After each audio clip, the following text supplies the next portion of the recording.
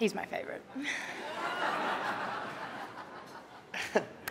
Creating mass destruction the old school way meant taking objects and manually scoring them at their breaking points, which is breaking it apart and putting it back together for later destruction, kind of like that vase I broke and glued back together in fifth grade.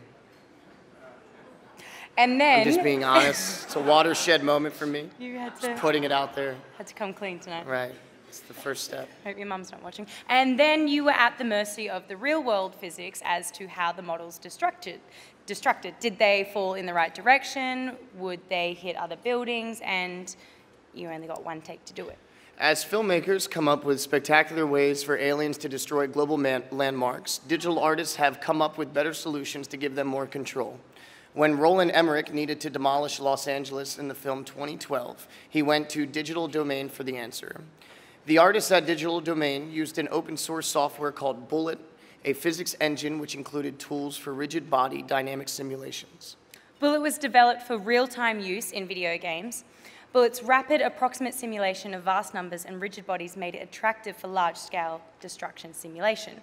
Sony ImageWorks was quick to, quick to integrate Bullet into their destruction system, while simultaneously Digital Domain also started developing the Drop Destruction Toolkit incorporating Bullet's engine and helping guide it toward a focus on the scale and detail required for motion pictures.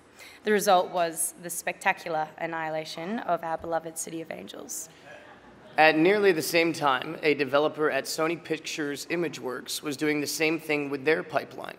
The combination of influence on Bullet from both Sony and Digital Domain made the tool useful for the broader visual effects community.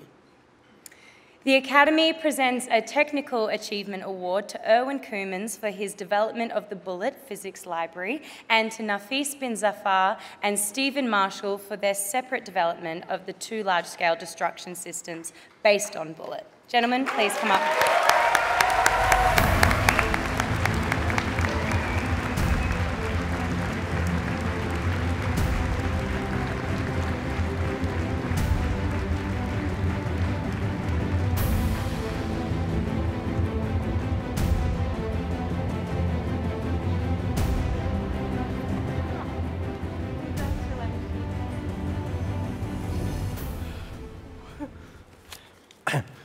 Thank you, Miles and Margot. I accept this award on behalf of the entire Drop development team.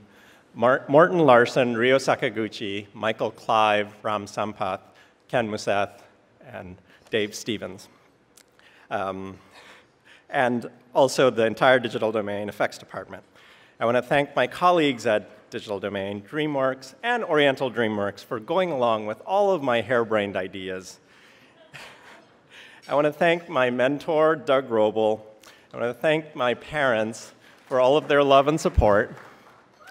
And I'd like to dedicate my award to my father for teaching me to persevere against very difficult problems.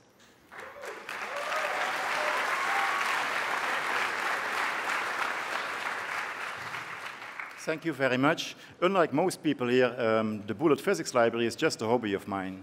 So sometimes people ask, how, many, how much time uh, in your current job do you, do you spend on Bullet? I say 100% basically. So I had to trick basically Sony Computer Entertainment and AMD and Google to let me work 100% of my time, which they do actually for the last 10 years, which I'm very uh, thankful for. For, the, for, the, for, supporting the open source, basically. And uh, of course, I thank my wife, beautiful wife in the kimono over there, uh, and my my son um, Oscar, which I called for a special reason Oscar, and Nina, which both of them are upstairs. and um, last but most important, I thank the supporters of uh, the um, Bullet Physics Library and contributors. Um, thank you.